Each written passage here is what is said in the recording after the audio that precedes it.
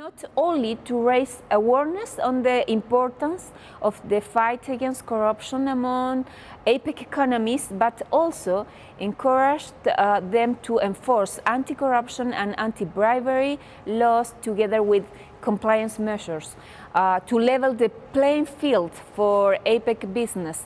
Uh, while technological advances can be very useful in the fight against corruption, it must be considered that for example, the information obtained or provided through the web may not always be reliable.